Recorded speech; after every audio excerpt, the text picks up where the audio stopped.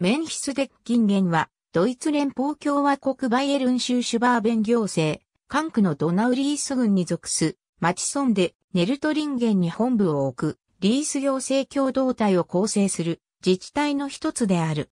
メンヒスデッキンゲンは、アウクスブルク地方のリース南縁に位置する。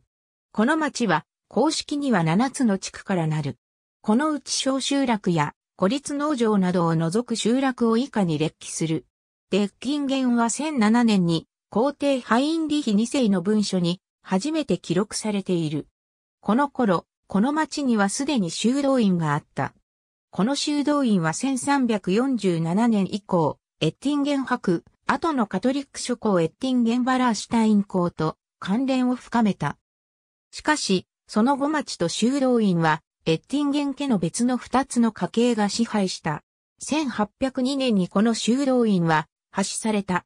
1806年のライン同盟によってこの町と世俗化された修道院はバイエルン領となった。1818年に現在の行政自治体が成立した。2007年にこの町は千年祭を祝った。町長はカーリーン、ベルクドルトである。